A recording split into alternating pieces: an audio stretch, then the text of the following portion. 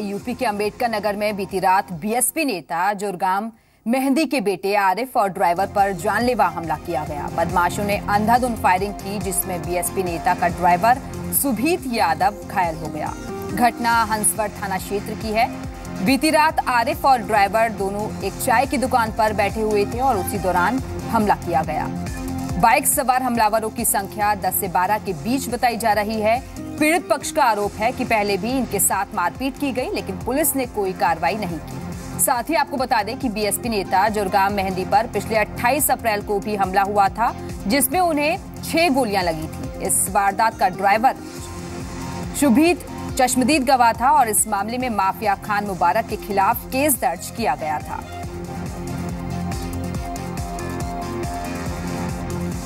चाय पी रहा था, तब तक देखा कि 10-12 लोग आए बाइक से, खान मुबारक के साथ, उसके बाद जो है दौड़ा के गोली मारना शुरू कर दिए।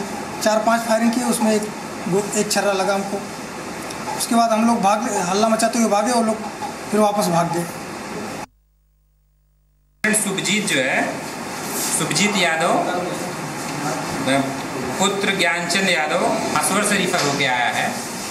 इसको पीठ में चोट लगी है। मरीज़ भर्ती है, स्टेबल है, ट्रीटमेंट चल रहा है। गोली चली है, परिजनों द्वारा बताया गया है कि वहाँ पे गोली चली और ये भाग रहे थे तो पेट में चोट लगी है। तो आपको बता दें कि बीएसपी नेता के बेटे पर यह हमला हुआ है। 10 से 12 संख्या बताई जा रही है हमलावरों की। दरअसल एक चाय की दुकान पर बीएसपी नेता का बेटा और ड्राइवर बैठे हुए थे, लेकिन अचानक से वहाँ पर बाइक सवार बदमाश आए और उन्होंने गोलियाँ चलाई, मौके से फरार हो गए। लेकिन पीड़ित पक्ष का कहना है कि पहले भी ऐसा हमला हो चुका है, लेकिन पुलिस ने इस मामले में कोई कार्रवाई नहीं की।